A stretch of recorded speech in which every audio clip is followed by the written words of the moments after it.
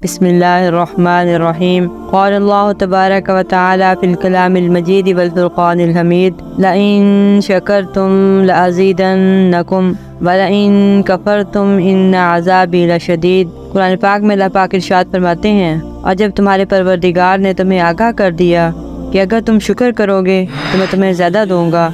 और याद रखो, अगर नाशुक्री करोगे तो मेरा अजाब सख्त है।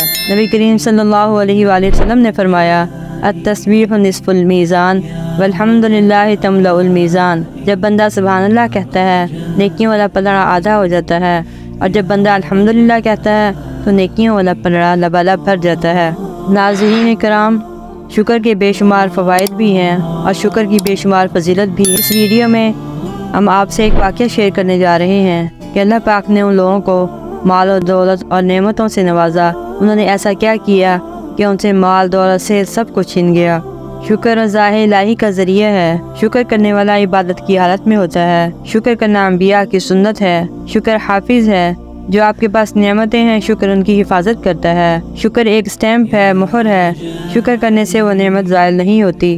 अल्हम्दुलिल्लाह में आठ हरूफ हैं और जन्नत के आठ दरवाजे हैं। जो शख्स साफ़ दिल से अल्हम्दुलिल्लाह पढ़ता रहता है अल्लाह तबारिक व ताली उसको आठ दरवाज़ों का मालिक बना देता है। अल्लाह तबारिक व थोड़ा माल देकर भी आजमाते हैं और ज़्यादा माल देकर भी आजमाते हैं, जो आजमाइश पे पूरा उतरता है। अल्लाह तबारिक व उसको और नवाज़ देते हैं, जो इंसान आजमाइश में नाकाम हो जाता है। इससे वो नेमत, वो माल, दौलत हती के सेहत भी छीन जाती है। आप चाहते हैं कि आपको कोई चीज़ मिली, मसलन अल्लाह पाक ने आपको गाड़ी दी। आप चाहते हैं ख़राब ना हो, उसका एक्सीडेंट ना हो तो आप उस पर शुक्र करते रहें, अल्हम्दुलिल्लाह पढ़ते रहें। आपके पास सेल फ़ोन है आईफोन है, आप चाहते हैं वो गुम ना हो और टूटे नहीं तो अल्हम्दुलिल्लाह पढ़ते रहें माशा पढ़ते रहें।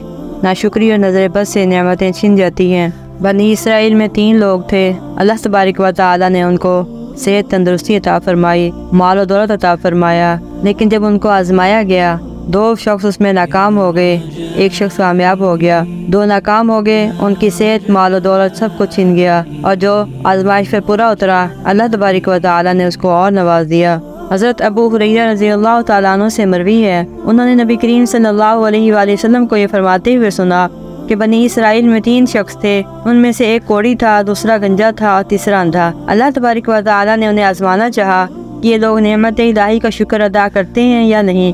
चनाचे अल्लाह तबारिक व ताली ने उनके पास एक फरिश्ता फ़कीर की सूरत में भेजा। वो फरिश्ता पहले कोड़ी के पास आया और उससे पूछा कि तुम्हें कौन सी चीज़ सबसे ज़्यादा पसंद है? कोड़ी ने कहा कि अच्छा रंग और जिसम की बेहतरीन जिल्द और ये कि मुझे कोड़ से निजात मिल जाए, जिसकी वजह से लोग मुझसे नफरत करते हैं। नबी करीम वसल्लम ने फरमाया, ये सुनकर फरिश्ते ने कोड़ी के बदन पर हाथ फेरा, चनाचे उसका कोड ख़त्म हो गया। उसे बेहतरीन रंग और रूप और बेहतरीन जिल्द अता कर दी गई। फिर फरिश्ते ने पूछा कि अब तुम्हें कौन सा माल सबसे ज़्यादा पसंद है? उस शख्स ने कहा कि ऊँट मुझे पसंद है। उस शख्स को हमला ऊँटनियाँ अता कर दी गई। फिर फरिश्ते ने यह दुआ दी कि अल्लाह तबारिक व ताली तुम्हारे इस माल में बरकत अता फरमाए। नबी करीम सल्लल्लाहु अलैहि वसल्लम ने फरमाया, फिर फरिश्ता गंजे के पास आया और उससे पूछा कि तुम्हें कौन सी चीज़ सबसे ज़्यादा पसंद है? गंजे ने कहा, मुझे बेहतरीन किस्म के बाल मिल जाए और गंज से निजात मिल जाए, जिसकी वजह से लोग मुझसे घिन करते हैं। नबी करीम सल्लल्लाहु अलैहि वसल्लम ने फरमाया रिश्ते ने उसके सर पर हाथ फेरा, उसका गंज ख़त्म हो गया। उसे बेहतरीन किस्म के बाल अता कर दिए गए। फिर फरिश्ते ने उससे पूछा, तुम्हें कौन सा माल सबसे ज़्यादा पसंद है?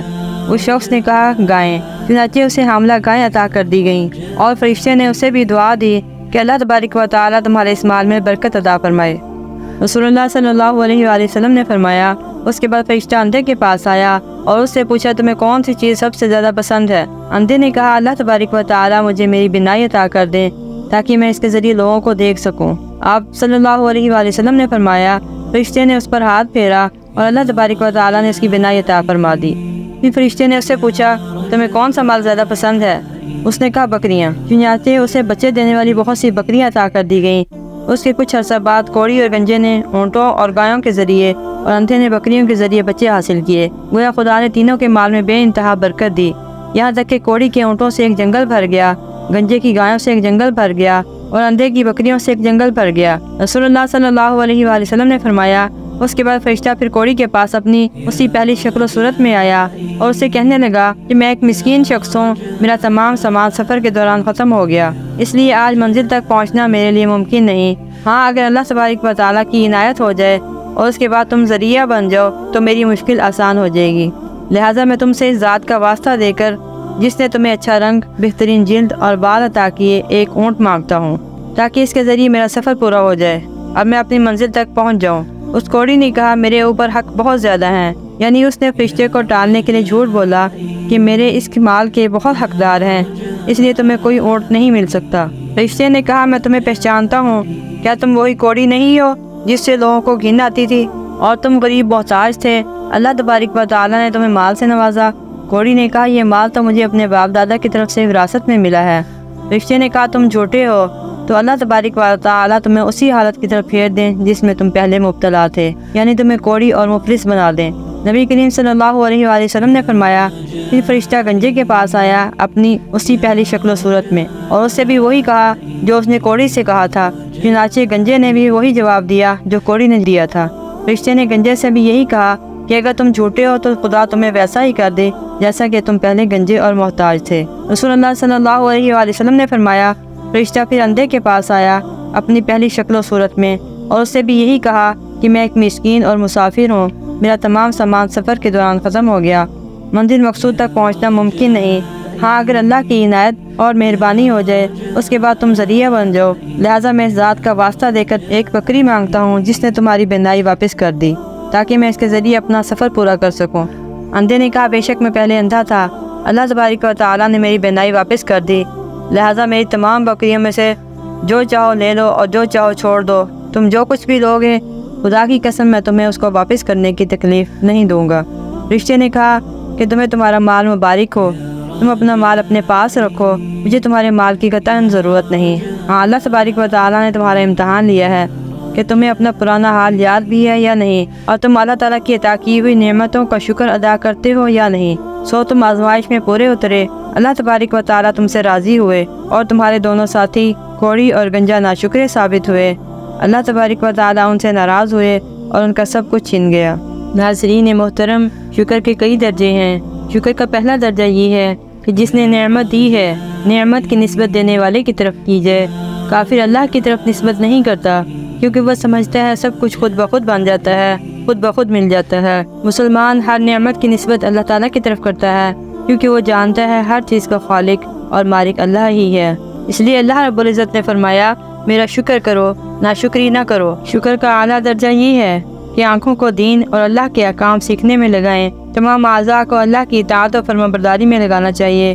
और नाफरमानी से बचाना चाहिए। अपने तमाम अज़ा को नाफरमानी से बचाना ये शुक्र का आला दर्जा है। शेख सादी रहमल्ला फरमाते हैं, मैं एक दिन दमिश की मस्जिद में नमाज़ जमा अदा करने के लिए गया। बाहर निकला तो मेरे जूते किसी ने उठा लिए। जूते गायब थे। मैं जूते के बगैर चल रहा था और मेरी हालत ये थी कि मेरे पास जूते ख़रीदने के भी पैसे नहीं थे। और मैं दिन ही दिन में शिकवा कर रहा था कि लोग तुम्हें इतना बड़ा इमाम समझते हैं। और तुम्हारी माली पोजीशन ये है कि तुम जूता भी नहीं खरीद सकते। आगे चलकर मैंने एक शख्स को देखा। उसके पाँव नहीं थे और ज़मीन पर रिंगता हुआ आ रहा था। उसको देखकर मैं फ़ौर सजदे में गिर गया। मैंने अल्लाह का शुक्र अदा किया कि मालिक तेरा शुक्र है उन्हें पाँव तो अता किए, जूते आज नहीं तो कल नसीब हो ही जाएँगे। मोहतरम नाजरीन, हमें हर हाल में अल्लाह पाक का शुक्र अदा करना चाहिए। थोड़ा मिलने पर शुक्र अदा करने से अल्लाह रब्ज़त ज़्यादा अता फरमाते हैं। अल्लाह रब्ज़त हम सबको हर हाल में अल्लाह का शुक्र अदा करने वाला बनाए और अपने फर्माबरदार बंदों में शामिल होना हमारे नसीब में लिख दे। आमीन।